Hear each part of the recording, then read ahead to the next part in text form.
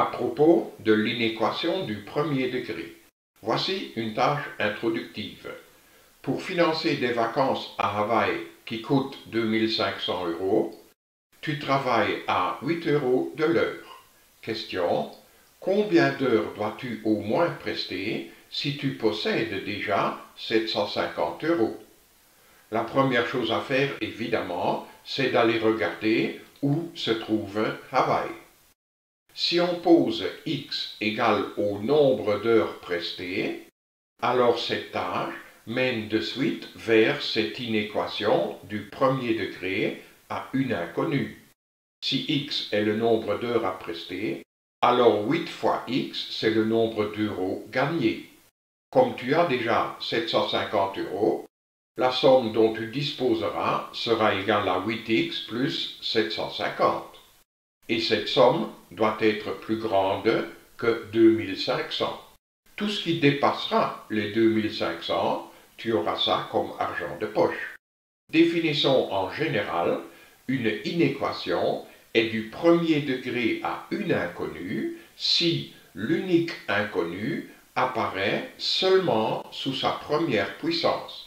Donc il n'y a pas de x carré et de x au cube, etc. Formulons ici une remarque importante concernant les inégalités. Il est vrai que 2 est strictement plus petit que 3.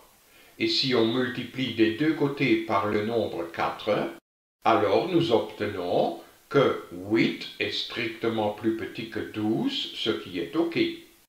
Repartons de cette même inégalité correcte et multiplions maintenant des deux côtés par un nombre strictement négatif multiplions par moins 4.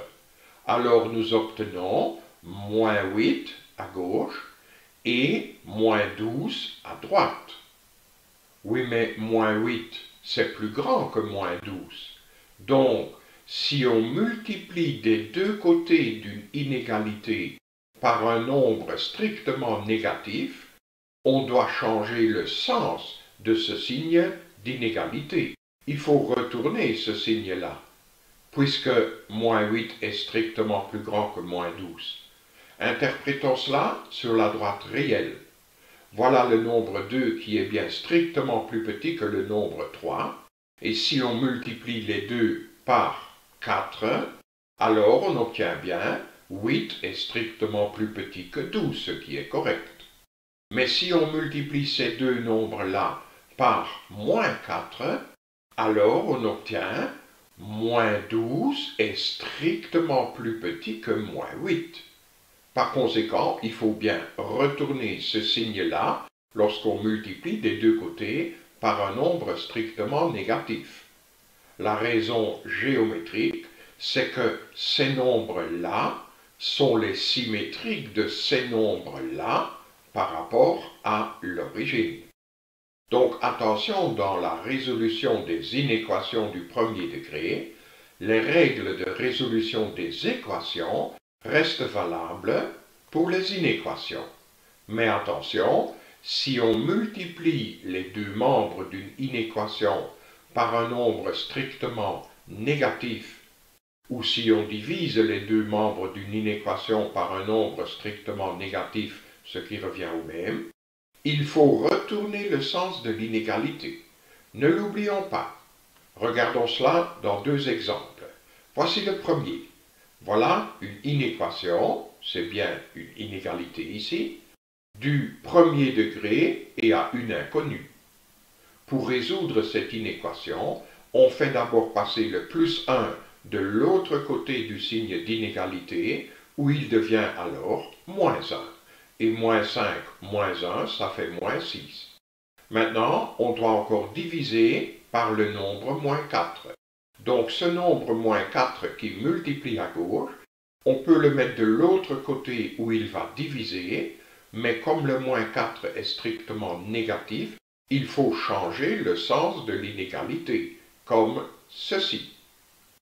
Et moins 6 divisé par moins 4, ça fait 3 demi. Donc, les solutions de cette inéquation, ce sont tous les nombres x qui sont strictement plus petits que 3 demi. Pour pouvoir écrire l'ensemble solution, on se sert souvent d'un dessin pareil. Nous traçons la droite réelle, R, tout à fait à gauche se trouve moins l'infini, tout à fait à droite se trouve plus l'infini, et quelque part sur la droite réelle, orientée vers la droite, se trouve le nombre 3 demi en question. Comme x doit être strictement plus petit que 3 demi, x ne peut pas être égal à 3 demi. Donc le nombre 3 demi même, nous le dessinons par un point rouge et creux. Tous les x permis se trouvent à gauche de 3 demi, strictement à gauche de 3 demi, vu cette inégalité-là. Maintenant, dans ce dessin, nous lisons, comme l'indique la flèche, de gauche à droite, l'intervalle vert. Lisons l'intervalle ouvert de moins l'infini jusqu'à 3 demi, en 3 demi également ouvert.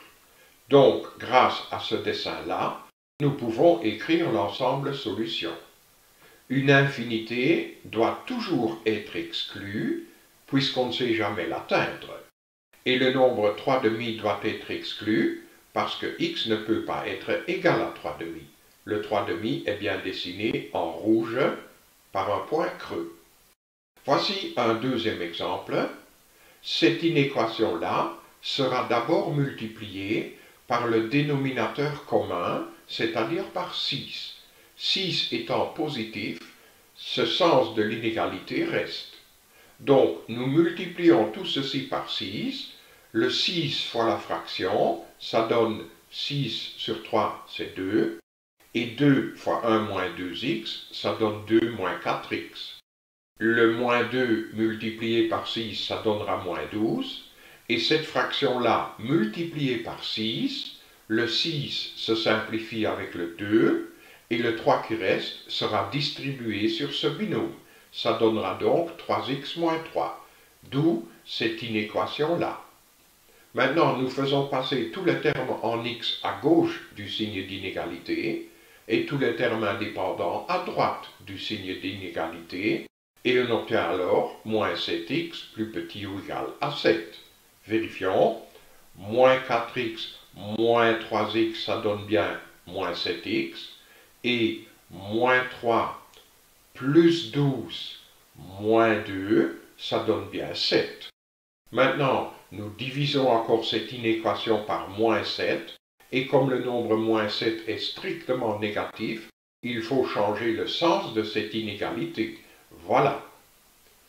Ici, on peut de nouveau faire un dessin qui représente cette situation-là. Donc, traçons la droite réelle. Tout à fait à gauche se trouve moins l'infini. Tout à fait à droite se trouve plus l'infini, parce que la droite réelle est bien orientée par cette flèche vers la droite. Le nombre moins 1 se trouve quelque part sur la droite réelle, et comme x peut être égal à moins 1, nous dessinons le nombre moins 1 en vert. Et puis, tous les x plus grands que moins 1, on les dessine également en vert. Nous lisons l'ensemble solution de cette inéquation dans ce dessin. Lisons bien de gauche vers la droite comme l'indique cette flèche. L'ensemble solution commence par moins 1 inclus, et puis on va de plus en plus loin, de plus en plus loin vers la droite, jusqu'à plus l'infini, infinité qu'on ne sait jamais atteindre, et donc il faut l'exclure. D'où l'ensemble solution de moins 1 inclus jusqu'à plus l'infini exclu. Si, à partir de cette inéquation-là, on arrive à écrire l'ensemble solution sans dessiner la droite réelle, c'est OK. Ce dessin n'est pas obligatoire, c'est juste une aide pour pouvoir rédiger l'ensemble solution.